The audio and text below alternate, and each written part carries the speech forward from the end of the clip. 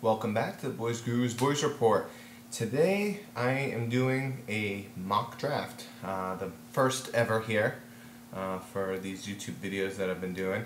Um, and so with that, uh, we don't have first round pick, everybody knows that. Um, at pick 51, I am like totally up in the air. Uh, we've interviewed, I mean, I kind of know where the position is going to go. It's going to be either receiver, defensive back, or um, or outside linebacker. Uh, but I don't see um, as to who's going to be that guy. So that's like, it, it's it's really tricky. I mean, I have you know you know, throughout this whole series, I've been going through names, um, and I, I do think we're going to select quite a few of the names that I've been going through.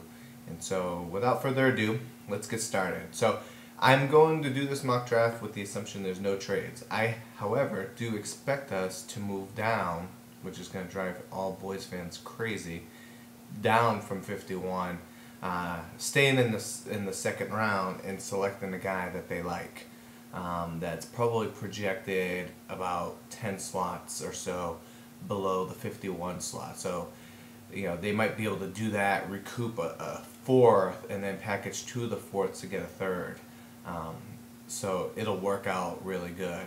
Or get a fifth, get two fifths, add a fourth, uh, doing a two for one down the road uh, with the already multiple picks that we got going on. So um, it'll it'll suck because it'll delay the pick, and especially since they're doing the draft like later to this year than than normal. Um, but I think it'll be good in the long run. So, um, like I said, no trades, even though I do expect us to move down in round two. Uh, without further ado, let's get it going. So, pick number one is a need of ours. It's been a need for ours since the days of Brock Marion uh, and that's a free safety ball hawking type. Now, uh, this guy isn't necessarily, um, he's going to be kind of utilized a little bit differently than the traditional free safety. Um, there's, I'm going to put some links on, uh, on the side, I think it's on that side, um, in, you know, with the little article I'm going to put together as far as the star position that's been discussed. Um, I think it's just a, a, label of such of a safety that can cover a receiver. I mean, it's as simple as that. Some some teams have that kind of guy. Um, most teams don't. So uh, the safety is Darcel McBath from Texas Tech. Um, there's I saw some videos on other, th other things besides YouTube, uh, interviews with him, draft prep, interviews with his coordinator.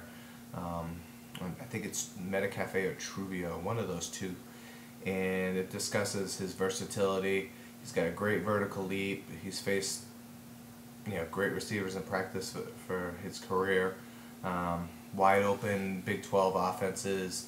He's a ball hawk. I, I think he'll fit in really, really nicely into that position.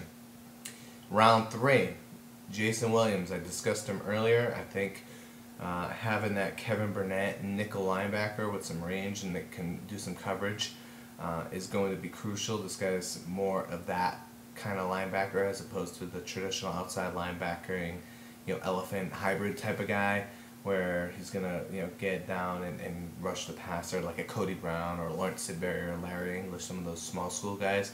Uh, this guy is more of a speedy linebacker. Um, probably a great fit in one of those you know Tampa two schemes, but with us, he could fit with us as well.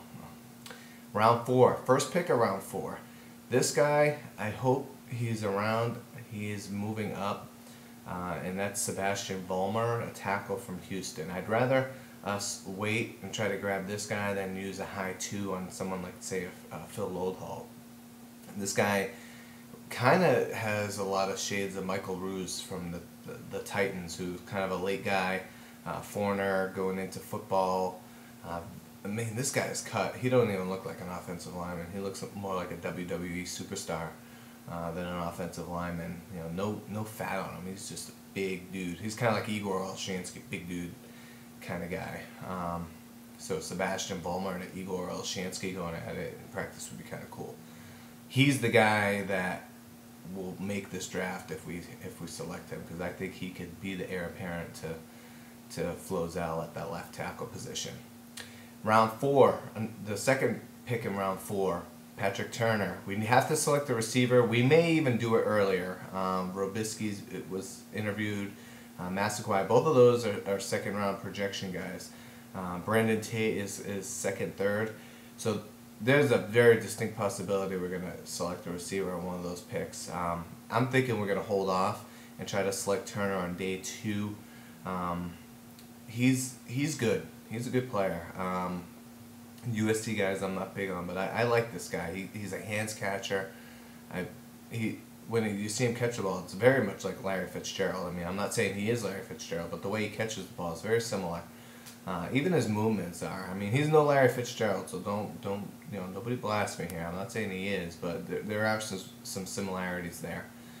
Um, let's see, round five. Now, I don't think this guy is going to last to round five, uh, but Jason Phillips, I think, is going to be a Cowboy.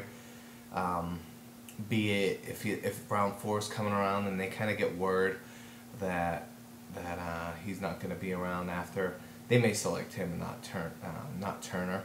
Um, the only reason why I put Turner in this mock draft is because we've already selected a linebacker in Williams. So that's that's my my logic there. Uh, round five, another guy.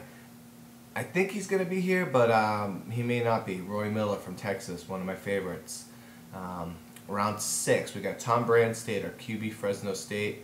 Um, a six-round QB is nothing more really than a developmental guy, and you, you you hope you hit on him like a Tom Brady. I mean, he's now the poster boy uh, for all those six-rounders. Um, I like Fresno's program. I, I, just I like what Pat Hill does over there. He, he has NFL ready players, so um, you know this this guy's pretty mature. So good guy there. Uh, let's see, we got Robert Brewster, Ball State. He's kind of an offensive tackle, small school. You know, projects probably more to guard. Uh, we've interviewed him. Uh, and then the round seven, there's the guys in round seven actually like Dan Skuta, linebacker, Grand Valley State. Uh, very versatile. You can go inside, you can go outside. You know, I know. Oh, what's three linebackers doing here? Well, we need depth. We we got a bunch of bums besides our starters uh, that are nothing more than, than waiver wire fodder, in my opinion. And we need to we need to upgrade those positions, give them some competition. Worst case scenario, you could throw these guys in the practice squad. Um, let's see, round seven, uh, Tony Carter with our second one. Uh, this guy is a smallish corner, but he's got really great physical skills. Um, we've been doing a lot of drafting these kind of guys. I think Courtney Brown was like that. Alan Ball was like that. Um, you know, the guys that, that are very fast uh, maybe needs to put on a little bit a little bit of weight, and um, you know he may turn out. He, he's he's got he's got the physical skill set. Bryce McCain is another name to look for there, and then the last guy I think we're gonna you know the talk of the Wildcat. This guy Julian Edelman, QB from Kent State, um, kind of a poor man's Pat White. Uh, a lot of people think he'll be a priority free agent. I think we use one of our seventh rounders to make sure that nobody else um, leapfrogs us and you know takes his services. So um, he could be going before then. Um, that's pretty much it on the mock draft. Um, guys, I like James Casey. I'm like praying that we select him. I know it's more of a luxury than a need, but I just think this guy could be utilized as a serious weapon. Uh, I like him. I like Patrick Chung. Um, Jairus Byrd is another name I kind of like, and, and you know keep an eye on him. He may be our second round pick. Uh, and that's just about it. Massaquoi, I mean, we've gone through these names. Um, that's what I got for you. Hopefully, you know, put your thoughts there. I'm, I'm gonna, you know, I'll, I'll respond to some comments. I'm sure, you know, I'm gonna get praised and jeered and all that good stuff um, with some of these picks. But keep an eye on these guys and talk to you later. Peace.